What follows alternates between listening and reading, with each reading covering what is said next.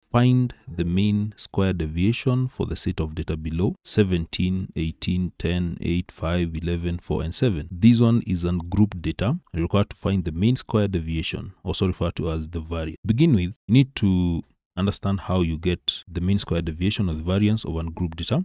And this is how you get it. This is the formula. We get it by getting the summation of deviation squared divided by n, which is total frequency or the number of values. In this case, n is 1, 2, 3, 4, 5, 6, 7, 8. The 8 values, so n is 8. So we need to get d.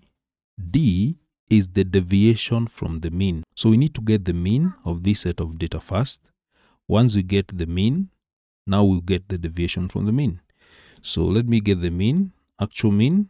You get it by getting the sum of everything here. So we're going to add 17 plus 18 plus 10 plus 8 plus 5 plus 11 plus 4 plus 7 then everything divided by the total values total frequency. There are 8 and when you work out these you get uh, using a calculator you get 80 divided by 8 and therefore the mean would be 10. Now after getting the mean, now we can get the deviation from the mean and to do that, I'm going to prepare a table here uh, where I will have uh, x there and then we'll have the deviation or d. Deviation will be given by x minus, you need to get the deviation of each of these values from the actual mean.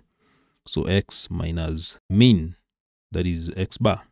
So that is a D. So X, we have uh, 17, we have 18, we have 10, we have 8, we have 5, we have 11, we have 4, and we have 7. So now we can get the deviation from the mean. So deviation from the mean. So to get D, you get X minus X bar. X bar is the mean. So 17 minus mean, which is 17 minus 10, you get 7.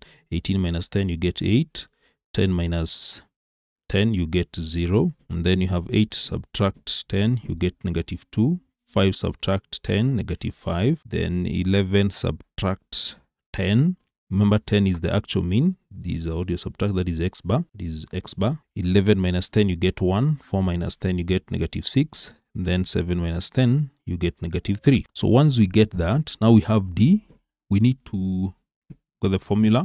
From the formula, we need to get the deviation squared, deviation squared. So we're going to introduce a column here, deviation squared. So we square these, 7 squared is 49. Then this is 8 squared, 64. 0 squared, 0. Negative 2 squared is 4. Negative 5 squared is 25. 1 squared is 1. Negative 6 squared is 36.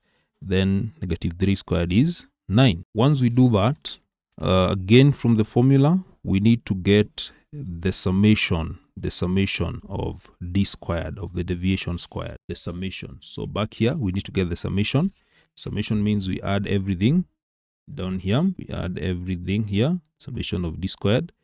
So 49 plus 64 plus 0 plus 4 plus 25 plus 1 plus 36 plus 9 that will give 188 now we have um, everything that we need. So therefore mean square deviation will be given by the summation of d squared, which is 188, divided by n, total values, which are 8. So you divide that, and that will give 23.5, 23.5. So that is how you get the mean square deviation or the variance of ungrouped data.